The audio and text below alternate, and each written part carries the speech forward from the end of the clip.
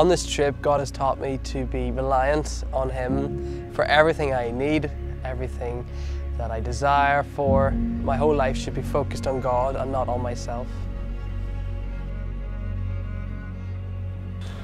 I think it's been coming to uh, the children's home in the south of India where we've seen children who come from very difficult and very varied backgrounds coming and they're in a safe environment, coming from very difficult situations and they're being able to give them the gospel, which is such a delight for us.